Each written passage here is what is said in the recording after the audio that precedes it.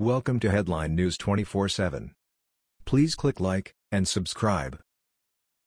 It's on. Gowdy just said he's hitting them with a full arsenal of constitutional weapons.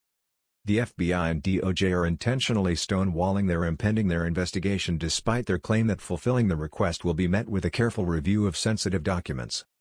House Oversight Committee Chairman Trey Gowdy told Fox News Sunday that House Speaker Paul Ryan led a meeting Friday night with senior members of the DOJ and FBI and made it clear that there's going to be action on the floor of the House this week if FBI and DOJ do not comply with our subpoena request.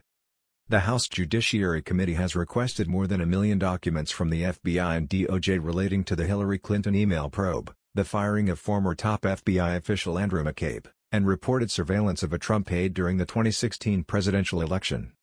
Remember, Democrats claim there was no surveillance from the Obama DOJ and FBI that Republicans were lying to the media and trying to cover up the Russian collision. We now know the Obama admin did in fact spy on then-candidate Donald Trump, and even tried to cover it up. There is zero reason why we can even trust our federal government to do their jobs without shredding the Constitution. Under the heading of minor miracles, you had members of the House working on a Friday night, Gowdy said. Paul Ryan led this meeting.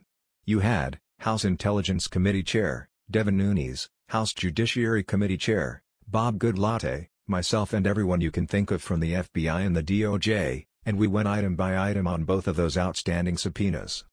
And Paul made it very clear, there's going to be action on the floor of the House this week if the FBI and DOJ do not comply with our subpoena request, he continued.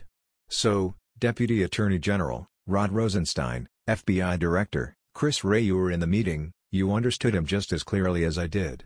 We're going to get compliance or the House of Representatives is going to use its full arsenal of constitutional weapons to gain compliance. Last week, emails reviewed by Fox News showed that Rosenstein himself threatened to subpoena emails, phone records and other documents from lawmakers and staff on a Republican-led House committee during a tense meeting earlier this year, in what aides described as a personal attack.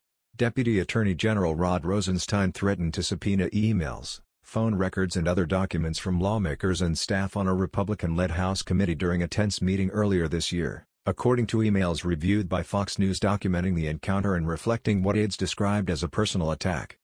The emails memorialized a January 2018 closed-door meeting involving senior FBI and Justice Department officials as well as members of the House Intelligence Committee. The account claimed Rosenstein threatened to turn the tables on the committee's inquiries regarding the Russia probe. Fox News Gowdy told Fox News Sunday that the full panoply of constitutional weapons available to the People's House are on the table, including contempt of Congress.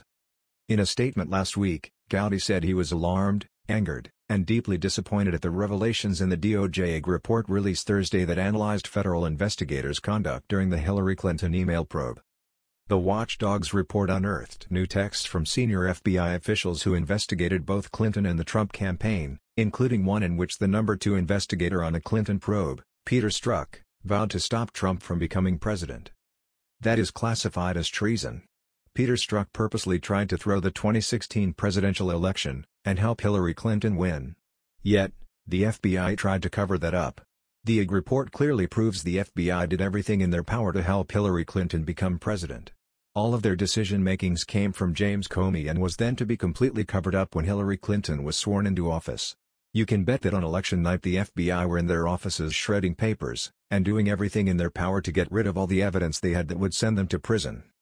Gowdy reiterated on Fox News Sunday that the IG report was deeply concerning. I don't know what Mueller has, he said. I do know this, that bias is so pervasive and everyone who has ever stood in front of a jury and had to explain it in a way will tell you it is the most miserable feeling in the world and I've never seen this level of bias. Fox News What's even more troubling is the fact that Barack Obama and Hillary Clinton are still not being investigated. The two caused more scandals than any other administration in the past. This made Richard Nixon's Watergate scandal a walk in the park.